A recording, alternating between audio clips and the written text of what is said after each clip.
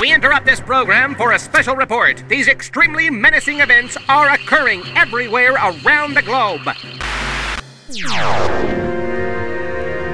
Batteries! For years we used them and just threw them out with the rest of the garbage. But now. What the hell? They have turned against us.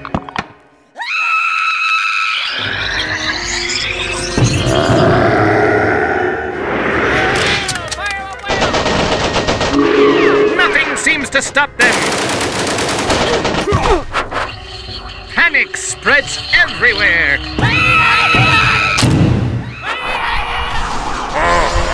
Cities are being covered by deadly acid. Will the Earth be consumed? Not if we can help it. Recycled battery box for household storage of used batteries.